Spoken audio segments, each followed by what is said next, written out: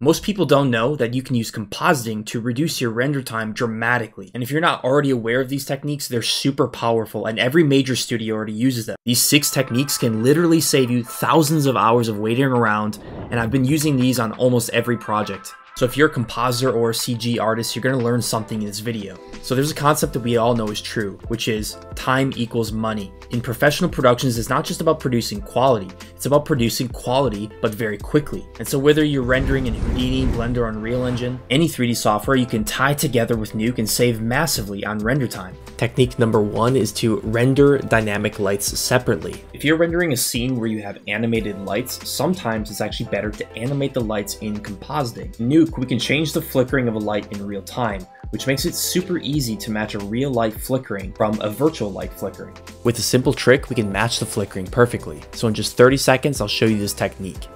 First, we crop into the flickering area on the jacket. We can measure the light differences using the curve tool in Nuke, which collects the intensity data. Then we create a solid constant and paste the data directly in the color. This makes the color match the flickering. But we don't want to actually change the color, so when we multiply it against the footage, we want to put a desaturation node and set it to zero. This will make sure the colors don't change, but the flickering is copied directly onto the render. Now the light perfectly flickers. For smaller detailed lights, here I'm faking these small patterns by using a variety of noise shapes with breakup and throwing the image out of focus. You can achieve this technique super easily by eroding a checkerboard and then masking it by a noise pattern. Put it out of focus and it looks like out of focus lights.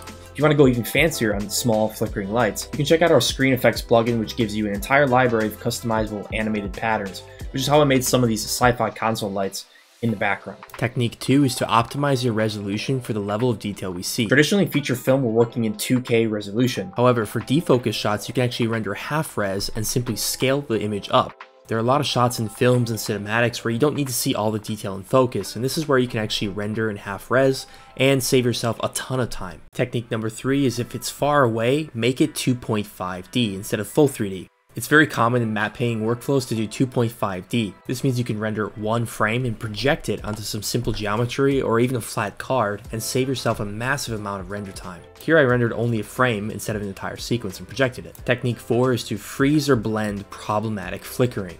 Here I created this box render. However, it's in a very metallic scene with a lot of glossy reflections. This can lead to a lot of flickering in the specular highlights, especially if you put things out of focus. This was most noticeable in the foil containers near the top. You can see it's chattering quite a bit here. So instead of rendering tons of samples, we could just project the render back onto the geometry and blend it across a few frames. If you've never seen this technique, you can check out my full tutorial on this, which is called How to Denoise CG in Post. Technique number 5 is if your camera only rotates, render one frame. Here we have a node pan, which means the camera only rotates. We can treat this as 2D or 2.5D, which means if we render one frame of our CG, we can just put it on a card and then just pan down into it. This makes it look like a rendered sequence, but it's just one single frame. Technique 6 is to mix your render engines. This is a less common technique, but is really powerful for compositing workflows. You can use the path tracer to get your main render and use the real-time engine to get other aspects. Now, there are a lot of things going on in this composite, but I want to show you how you can mix Eevee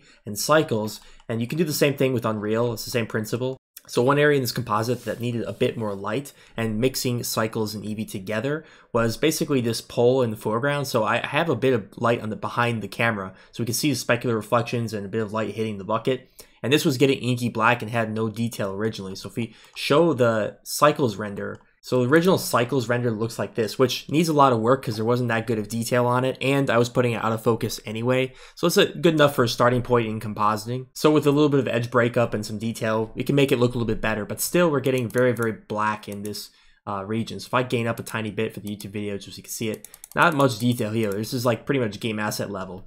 Keep in mind, this is going to be thrown out of focus as well, so I knew that, so I'm not going to waste time creating hero assets, but we can still add a bit more light to this, so even when it's out of focus, we can help it out. So this is an Eevee render that I rendered separately, just with the light at a different direction. I don't want to re-render and spend a whole, whole bunch of time on metallic surfaces, but Eevee can give you some decent reflections, and uh, sometimes it looks pretty real. There's actually a new ray tracer in Eevee as well. So pretty fast render. You can get this in like 30 seconds or a minute, and typically it looks better than just a relighting with normals. And so with the same technique, we can we can you know comp this up a bit, make it look much better by just getting some metallic feeling to all this, break it up a whole bunch.